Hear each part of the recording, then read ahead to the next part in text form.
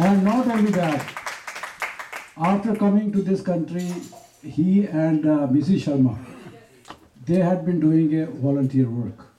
I don't know if you know that. Yeah, for the last about 15 years in this ICC, he is one of the founder members of ICC, and he is running two programs every week, Monday and Tuesday, roundtable conference, and the current affairs. And he is doing that selflessly, voluntarily. And everybody loves that program. And Mrs. Roma Sagar, she's also doing volunteering for the last about 30 years. She's volunteering in the hospitals, assisting people. So they are into Nishkam Karam. So let's give them a big hand before I invite them to Dr. Sharma and please come on, Gupta, Usha Gupta. You like to recognize them. Uh, first is Dr. Sagar Sharma.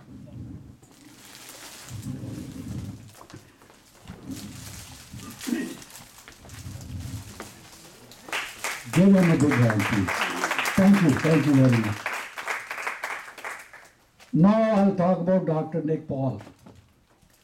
I came to this country in 1988. And you know, when you come to this country, you need car, you need everything. And luckily, we got Rajiv Batra. The car dealer. Not car dealer, no, no, no. So somebody told me that he has some extra furniture and he wants to sell it. We went it and I got it. He gave me almost like free.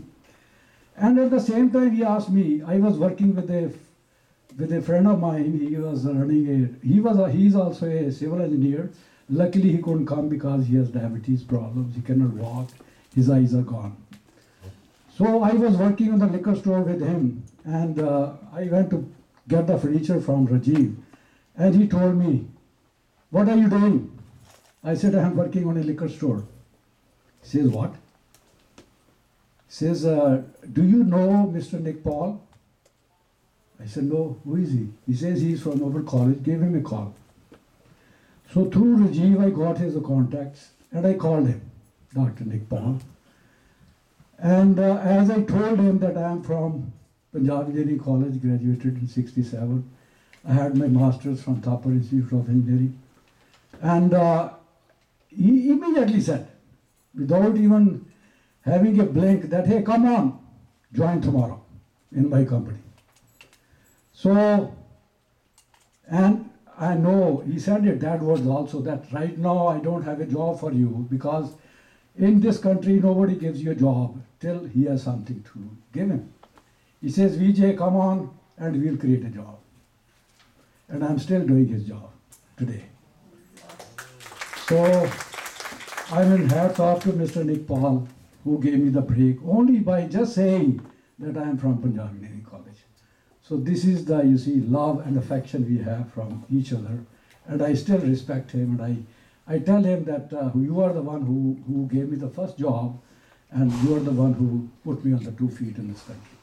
So at this time, I would like to invite him to get the bouquet, please. Dr. Nick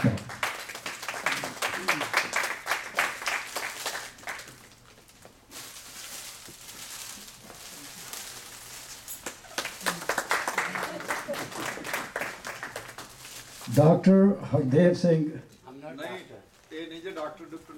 engineer that's okay. That, we are all doctors by virtue of our experience.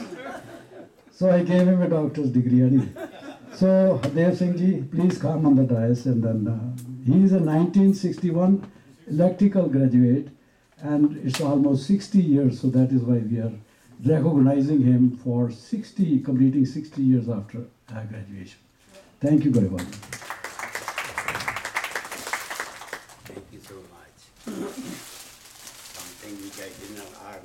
Thank you, thank you. No, we'll have you speak a little bit after this. At this time now, I would like to invite Brigadier Bikram Singh Sandhu. Why I chose him? Because he is from our army. He is the one, he, he, these are the, you see, class of people who protect our country day and night. Absolutely. So I am, I am recognizing them as our family.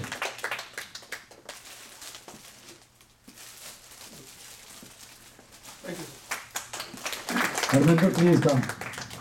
Harminder, I chose the last one for Usha Sharma because she is the only woman engineer in this country, and I was talking to her friends they are still trying to get first. She was always first in her class. They say she always beat me. So today also again she is first and recognize her as a woman engineer in this meet. Thank you, Usha, and she has helped me a lot. Thank you, Usha. So now uh, I would like to invite Dr. Satya Sagar Sharma to say a few words about uh, PEC. Dr. Sagar.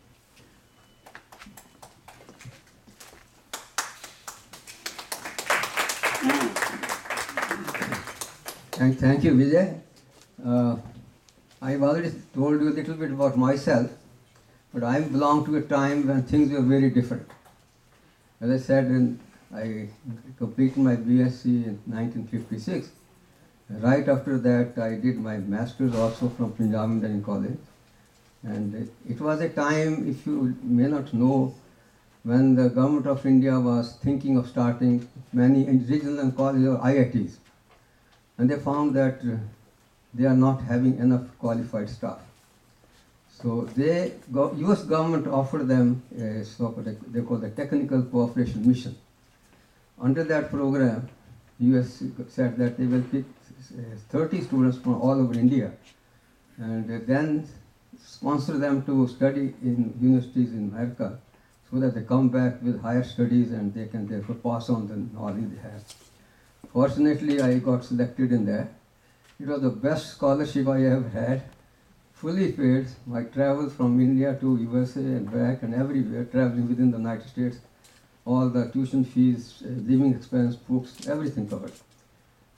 And uh, I did my master's and uh, PhD from University of Illinois. That's where they, they were just uh, sending us to different universities. I was sent to University of Illinois. It was very, pretty well known as a top school for structural engineering. So I did my both uh, master's and PhD there. But so when the scholarship requirement was that when you complete that, you have to go back right away and teach. That was the whole purpose of sending. So when I came back, then where do you teach? So I said, evidently I wanted to go to my own college in Chandigarh. And Dogra was the principal, very go-getter type of yeah. So what he asked me, do you want to teach here? I said, definitely I do. And then I started teaching over there. And that period lasted for about 15 to 16 years. That's a long time. So my association is not limited to the time I spent in studying in the college, but much more than that. And after I returned, purpose was not to just give teaching routine things, so we wanted to set up postgraduate courses. And we worked very hard, and as you know, quite a few postgraduate courses have been set up in Punjab and Chandigarh. I also had the, sort of a, a privilege that I guided the first PhD student from Punjab Engineering College, in, in engineering. Never ever before in the history anybody had done PhD from Punjab Engineering College. I don't know if some of you know Dr. ICCR. Yeah, he was the one who got the PhD. So it really is, what tells you is that somehow your desire to keep doing something from your institute to from where you came. It's a very interesting phenomenon that you studied so many places, but that this professional college has something to offer you. I think it's very interesting to note that. And I found that uh, you, of course, you have uh, carried all the memories when you were together in the college. You have made friends. You have good, good fun, made fun of professors, and all that nor- normal things that go on in the college. But at the same time, in your heart of heart, you also carry a lot of emotions and pride in belonging to that institution. This is called the power of belongingness. So that stays with you. And primarily, I think one of the reasons is that other institutes may give you a degree and then they don't know where you are going. But these colleges give you for undefined identity, a very definable identity, that today, now you are engineer and that is the profession that stays with you for the rest of your life. So that's one why you stay so connected. I think it's very important to recognize that yes, that is the reason that you have come together here today Your, this is not just an ordinary group we are sitting here. It's a very, very special group. When I was listening to it, I could figure out that they belong to people belonging to several generations after that. They're still there. Why are we there? Primarily because we have a common binding thread, and that is the Punjab Engineering College. But anyway, then, of course, I will say very briefly about my family also, as I told you, Roma, my wife. And we have two sons. My older son is a very senior man in Hewlett Packard. My younger son is a doctor in Palo Alto Medical Foundation. And we have four grandchildren. And the eldest grandchild is working at Google in New York. And my granddaughter did, she completed her MD and she's doing a residency. She got married to another doctor who, who did his MD from Harvard. And they are doing residency right now in UCLA. I have four grandchildren. Uh, all of them went through Berkeley. That was something amazing happened. My old, both of sons went to Berkeley. My all four grandchildren went through Berkeley. So we have become really, in terms of our association with Berkeley, has become very, very strong. Of course, from USA point of view, uh, my association is still University of Illinois. And I can see whenever University of Illinois team, football team is playing, my desire is they so that shows that uh, that kind of attachment, that kind of pride you have in the institution never dies, never dies, and should not die. And I have also known that low, some people who can afford, they are financially supporting their schools. I know a lot of people in IITs, they have been given, because they have millions of dollars probably, they have given millions of dollars to IITs to do more work. And it's very important because I still remember how hard we worked. As, I, as we returned from, I returned from USA, we wanted to do something to upgrade this standard of uh, you, I mean, college. So we made several trips on our own expense to New Delhi, prepared the whole plan, and uh, gave, it, gave it to the government of India, and asking them that this is the time to upgrade our college to IIT. Today, we are celebrating 100 years, this college deserved it. But nobody paid attention. So we went all the way, things looked brighter. But as you know, in India, unless you have a strong political pressure, it doesn't go too far. And that's what we have effort. And IIT went to Kanpur. Actually, should have come to Chandigarh. And uh, I, I hear, I don't know, I'm very, not very sure that it's almost like uh, IIT or not yet. I don't know. Deemed university. A deemed is that's very different from IIT. Yeah, yeah, yeah. not IIT. So I, I hope one day this becomes IIT, and that will be a matter of right. And I just uh, want, I was one at the University of Illinois, there used to be a statue right in front, a big statue of alma mater. And this was written there, to thy happy children of future, the children of the past send their greetings. That, that's what we do. so uh, thank you so much, I've got this opportunity to interact with you. And it was a very great pleasure. The memory of my teaching in college, very strong, very intense. And that was the best part of my life, really, because I loved it so much. So thank you for very much for bringing me. Some of my students are here, I, and I can see the love and the respect they give even now today. It makes your life worth living. Thank you so much.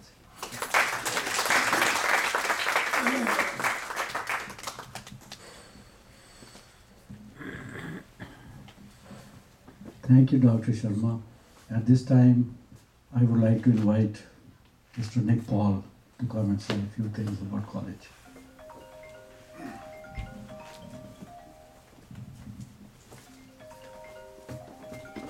Thank you, Vijay, for giving me the opportunity to address this uh, wonderful audience on behalf of my 1960 PSC batch who asked me to say a few words to this group on their behalf as well. those colleagues of mine who are there who requested me to do so are Dr. Salek Dr. Tarlochan Singh, uh, Mr. Gai, and uh, some others, including some from India, too. So, from our batch to this audience, congratulations.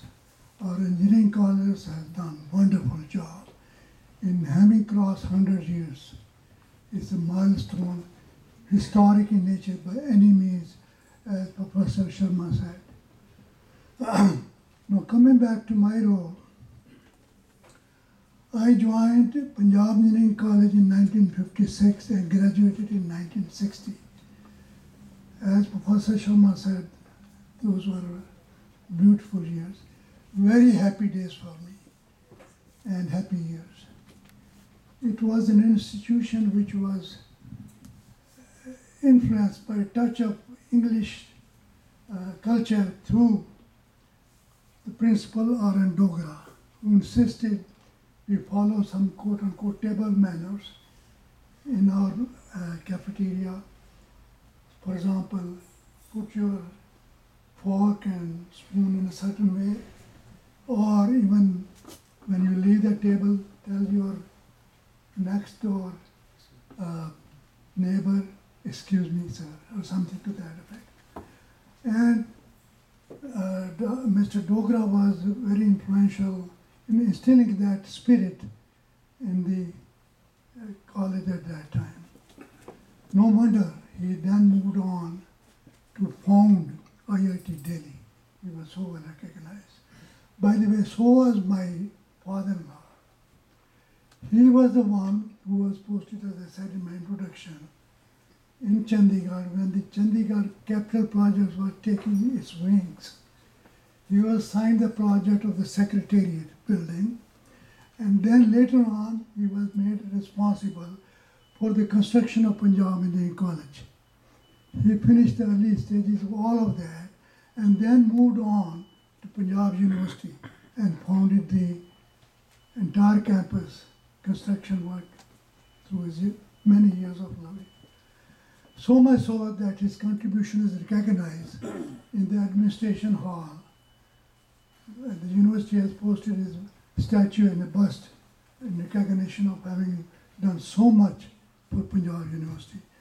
And he did so much for engineering college to the point I got so moved that when picking my partner in life, so to say, I picked up this lady there, who's feminine.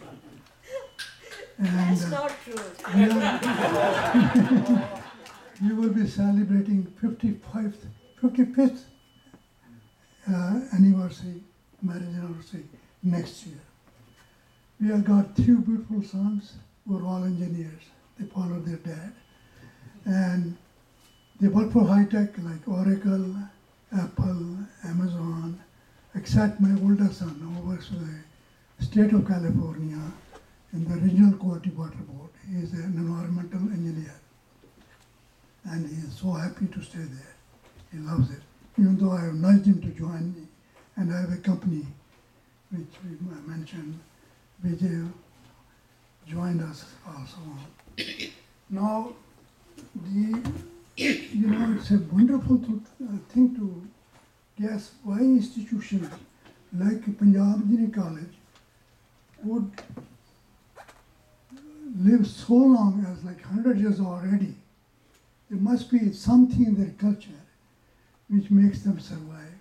And I was looking at that and wondered this morning, what is it that made Punjab Engineering College so unique to have passed the 100 year centennial and hopefully it will do so another 100 years given the culture which was embedded by the faculty, the students, the administrators, and the construction managers of that institution. They set the ball rolling, and I hope it keeps on rolling for another 100 years. Now, the contributions that the college training made to our batch was such that out of our batch, there were at least 10 people who earned PhDs and at least 10 who uh, uh, excelled in achieving topmost ranks in Indian Railway Service of Engineers Class 1 and Punjab Service of Engineers Class 1, including this humble servant of yours, as the Punjab Service Engineer Class 1 officer first admitted uh, at that time after about 20 years through a competition. uh, where they were. Actually, uh, even Dr. Sharma's colleagues were uh, competing, and um, when I got uh, promoted with a uh, assignment as assistant executive engineer on Bhakra Dam, I had the pleasure of working some of Dr. Sharma's class fellows working for me, including uh, uh, Mr. Singh, you know. Uh, so I was very fortunate. I am very much uh, thankful to the college for giving me the opportunity, so much so that Punjab PWD irrigation department sent me to do PhD on study leave at University of California, Berkeley. No, the leave was only two years. Unfortunately, you can't do PhD in two years. But what I did was did a master's degree, my second master's degree in University of California in soil mechanics. Then I worked for a few years in the Bay Area geotechnical firms. And then I thought to myself, I came here to do PhD, how come that mission is not filled? And unfortunately, or fortunately, Punjab government, even though I had to sign a bond with them, did not give me red cent all these years.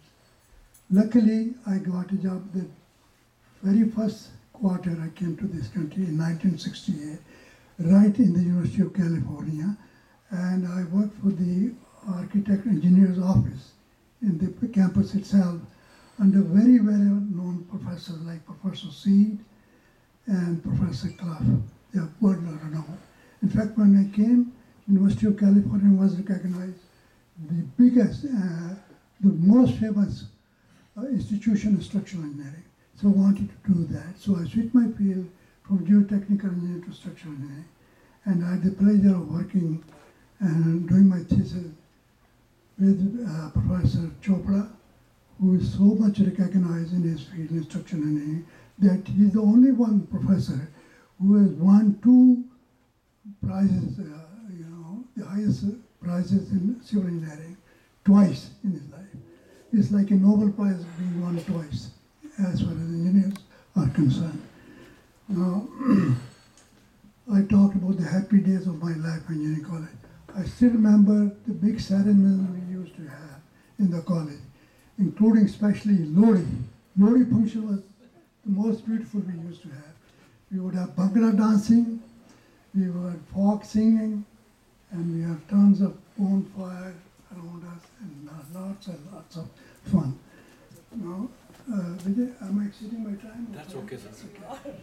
No, given that, I'm so the proof is, as I said, of the value of the education we got from the college was that so many of us did so much and so very well. And I'm very grateful to our institution. And looking at it, how that came to be, are the people who were behind all, some dedicated people. Faculty extremely dedicated, students extremely dedicated. We are early teenagers, but we are working so hard and we are still having fun. But we work so hard and did so very well. So the college gave us that opportunity.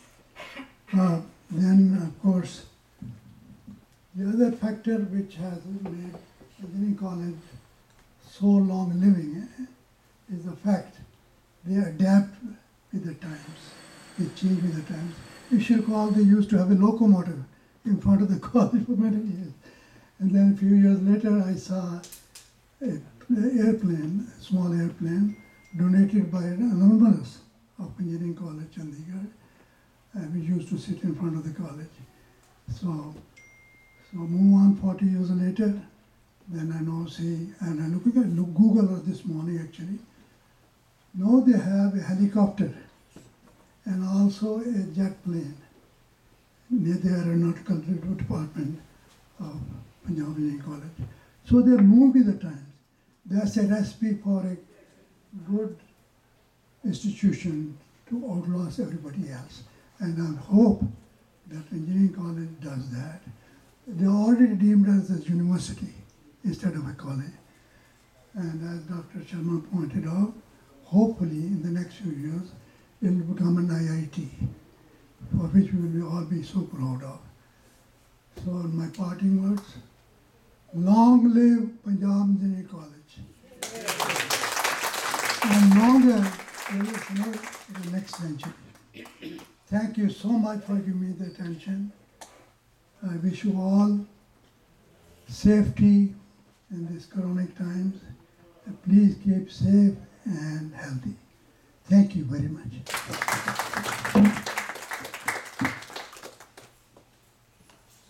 And drive. Don't drink and drive. Thank you, Dr. Paul. Now I would like to invite uh, Engineer Hardev Singh Garewal. to s- I stand corrected, sir. Honorary degree cannot be withdrawn. Second. Okay, Dr. Hardev Singh Garewal will say a few things. Please, Dr. Garewal. PhD ਬੜੀ ਆਸਾਨੀ ਨਾਲ ਮਿਲ ਗਈ ਸਾਨੂੰ ਵੀ ਕਰਾ ਦਿਓ ਕੋਲ ਆਉਣ ਦਾ ਫਾਇਦਾ ਹੋ ਗਿਆ I feel very nervous, uncomfortable. My turn has come after two distinguished doctors have already spoken. So I, I'm real nervous. Anyway, 64 years ago, I was going to join Punjab Union College, Chandigarh. I was nervous.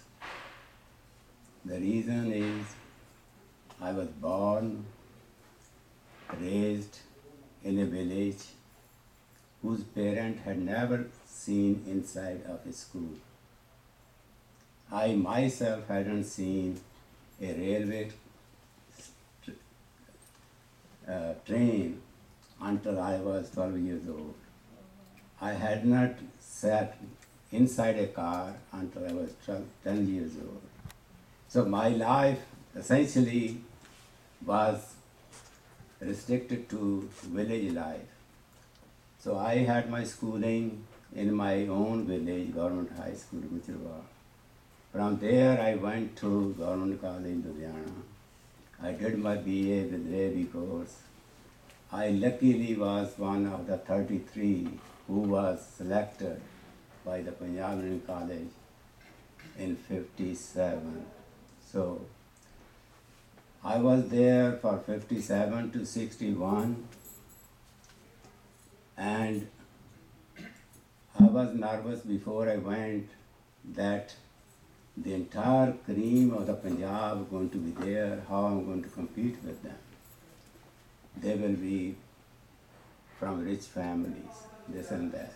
But all these worries got left at the gate of the entrance gate of the college.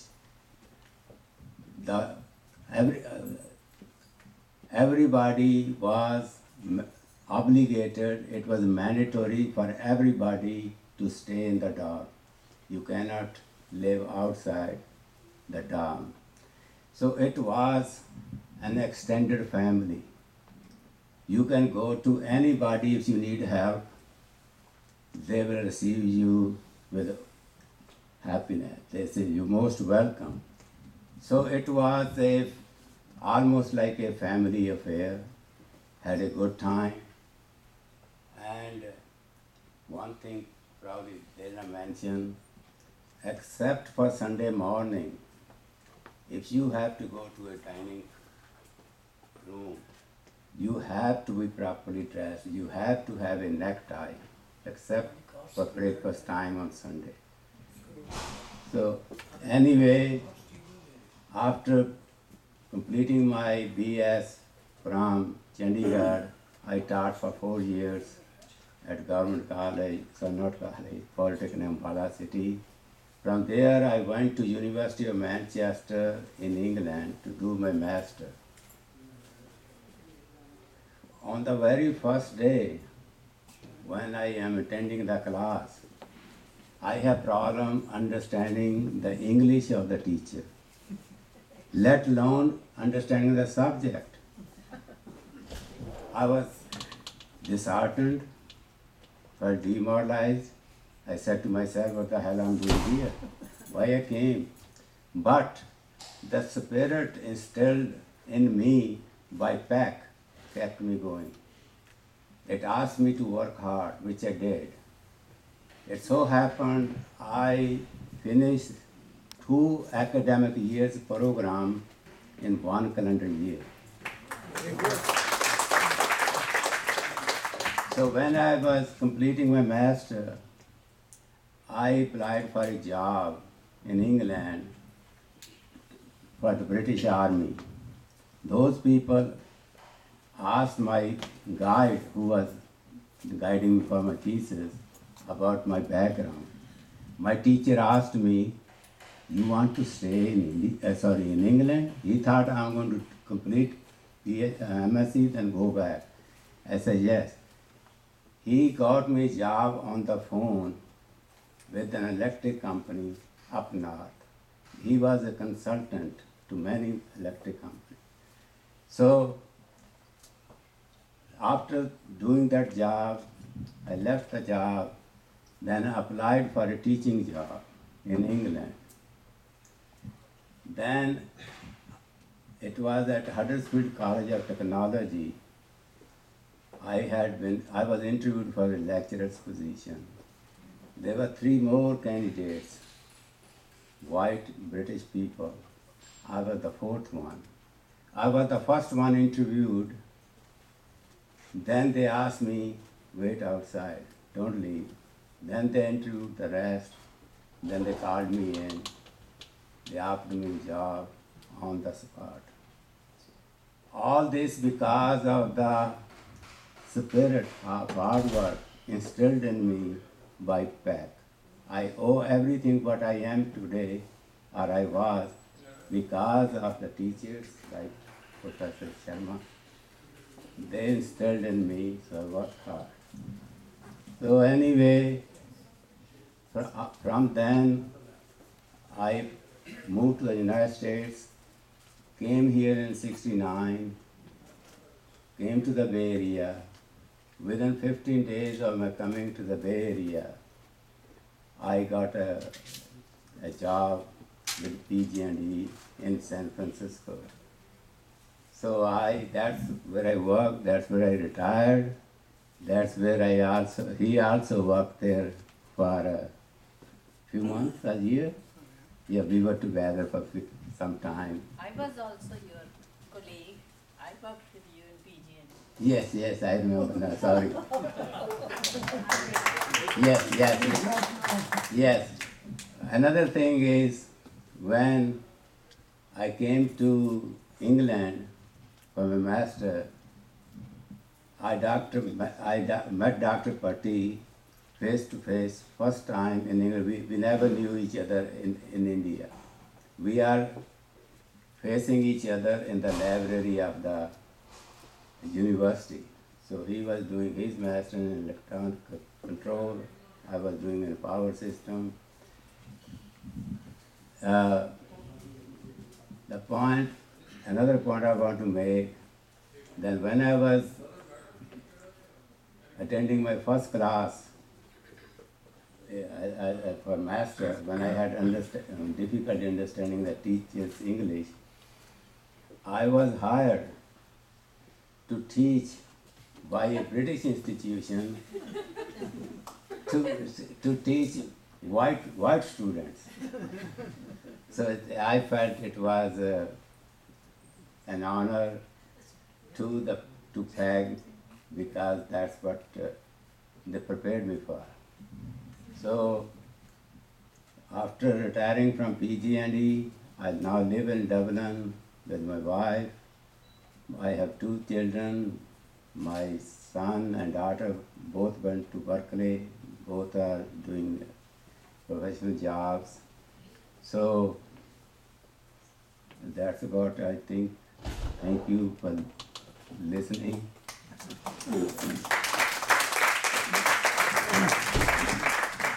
Thank you, Dr. Saab. I didn't know that was. I, I didn't say it wrong. I can say that.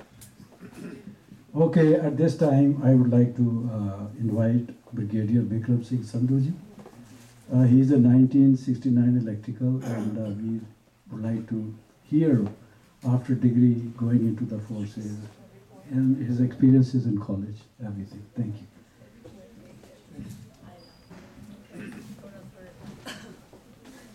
I think I prefer to stand here as you can see clearly. Uh, this time we'll be spending little more time.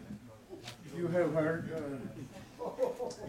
Please try to be short. last time, last time Vijay told me take two minutes. So how much? Uh, five minutes? Ten minutes? Twenty minutes? okay, we'll start from our college. Uh, as I told you, I am from Freeport, but I did my pre-university and pre-engineering from Rajindra Government College, Bathinda. Wonderful. So that time it was very popularly known that everybody was going to DAV College Jalandhar. If you see there, there used to be a merit list. And we used to have this newspaper Tribune, which is still there. So all the 25 boys or girls will be from there. Very few girls were doing that. Very few. We had zero girls, by the way. No girls. There was a girl, so yeah, you gotta tell me. Maybe before us then. Yeah, he was. No, no. He was graduated. Anyhow, very few girls. Yeah. No girls. Okay. But uh, uh, there was some girl with uh, Hardev Karewal. Narendra Kaur. Yeah, yeah, there was a girl. Narinder Kaur Sapota. he Third point given. Okay. So we got very good marks, came in the merit list. So I applied for IIT Kanpur, IIT Delhi, BITS Pilani, PEC, Thapar, Patiala, and Guru Nanak, Ludhiana. And I got admission in all six. And I picked up PEC. And no regrets. We had wonderful time. Professors were excellent. I can name all of them. Uh, standard of education was very high. Uh, we had a lot of ragging. So I'll give you one incident on ragging. From the main block, you see that picture? We were coming out, three boys, on the very first day. And our classes used to be from 8 a.m. to 4 p.m. with one hour lunch break. We were in Jwalamukhi hostel. The Jwalamukhi is the first one closest to sector level. So we were three boys walking and second year students they called us to come here. The first thing they did was remove your shirts and wear them upside down. Shirts. Upside down. Okay, and then remove your pants and move them upside down. So we could do nothing. They walked us to Jwalamukhi hostel, took us to our room. It was about five o'clock. And it was the month of July, and then there was a movie by Devanand, Teen Deviya. Yes. Teen Deviya. I don't know who was the hero, but heroines, I think one was Kalpana, one was uh, Simi, Kalpana Simi, and there was one more, Nanda.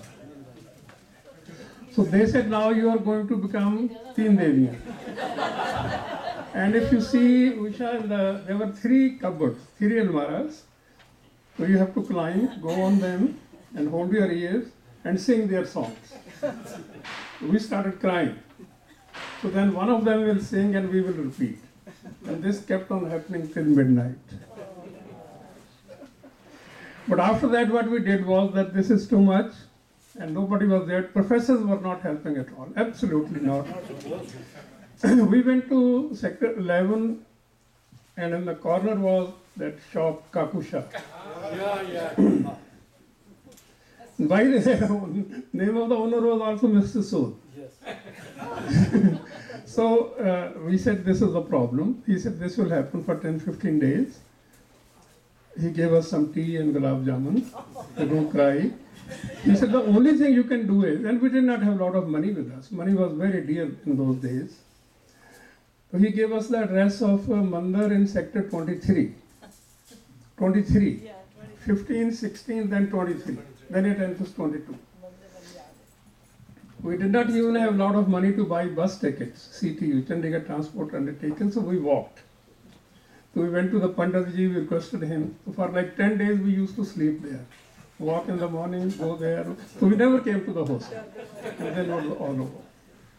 But it was overall a very great experience. Now, few things more about the army, which you'll be very much interested. Because 27 years is a long time. At that time, 100% equipment of our army was from Russia. You name anything, it was Russian.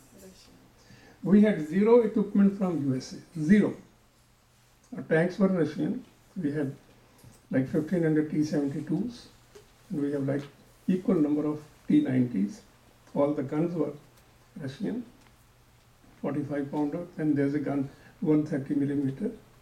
Its shell is 90 kilograms. It was the heaviest gun in the world at that time. Now there are other guns have come in. All the engineering equipment, all the signal equipment. Manufacturing in India was virtually zero. That time we started with the, the rifles were 303, but then came 7.62 mm, but that was very heavy. It was weighing like 7 kilograms and you have to carry 500 rounds, very heavy. So then now there are AK 47s. AK 47, you know, is very light and the rate of fire is very fast. So we used to go to lost, uh, lot to these eastern countries. They had divided between Russia, Hungary, Czechoslovakia, and so on. Now there are three engineering corps in the Indian Army: the signals. I was in signals, engineers, and EME. So signals is all telecommunications. We did lots of telecom courses, post graduation, and so on and so forth. Junior command, senior command, and higher command. The officers who are to be promoted, they go for higher command. It's one year course. So everything Russian, we have to study that, and uh, you have to be masters of that to lead the men in the battle. the point is, there is a lot of technology. We talk of technology here. Everybody, technology, technology. You know, when we came here in '96, the first cell phone in India came in '94. 94. We had those Nokia small instruments. You could buy for 100 rupees. The Indian Army had cell phones in 1980. We had our own network. So sitting in Nagaland, you could speak to anybody in Leh, our army headquarters. A radio network, radio relay network, and satellites. We have very, very few line communications. Very few line communications, insignificant. There's a massive network, massive amount of technology, massive amount of training. Very interesting. And similarly, other arms and uh, services, there is a lot of technology. Now things are changing. Uh, India is buying American equipment. They bought like 1,000 medium guns two, three months back. They are buying other American equipment, so Russians are very unhappy. Vladimir Putin is very, very unhappy. And that's not a good thing. And they have become friends with uh, Mr. Xi, the president of China. The, both the borders, the border with Pakistan is about 1,000 miles, starting from Gujarat, Rajasthan, Punjab, J&K. With China, our border is like 3,400 miles. Very, very few. All Arunachal Pradesh, starting from Leh, UP, go to the hills, then Arunachal Pradesh, then Sikkim and Bhutan. Both the borders are very, very active, extremely active. Things can flare up any time, and it's very, very serious. You know, you are reading everything, things are critical. And China has signed a treaty with Bhutan. Bhutan is a small country, like 100 miles by 100 miles next to Siliguri corridor. At Siliguri, We are only 20 miles wide. One side is Bangladesh, one side is Bhutan. You cut that 20 miles, so you, you lose seven states. Chicken neck. Assam, Meghalaya, Manipur, Nagaland, Tripura, Sikkim, and there is one more. So very serious, Mizoram. The problem is very, very serious, critical actually.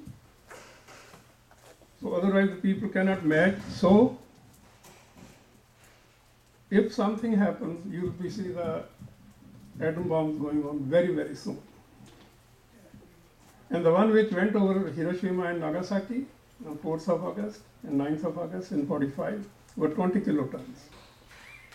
20 kilotons of TNT. Now they are, both countries have 1000 kilotons of TNT. Those bombs have killed 300,000 people in first one minute. There's a heat, there is radiation, there is exhaust, there is light. Everything kills. Things are not very good on this front. 96 we came here, life has been extremely good, even there. We are very positive, we stay positive. I have been doing my own things. When we sit down privately, we will talk. But the most interesting thing, I'll tell you what I'm doing now. Even Mr. Bhatti will get surprised. For the last five, six years, because I cannot sit, so I am into construction. So I buy a plot, big lot, like minimum 10,000 square feet or 20 or 30 and make four or five houses. This project takes like two years, keeps you busy, your mind doesn't go here and there. So we go to the city a lot. A lot, city of San Jose, I go a lot to your city, planning and building department. Gilroy, Morgan Hill, Union City, Hayward, wherever. But the problem is the plots are not available. A 10,000 square foot plot in San Jose today, you don't get for less than 1.5 million.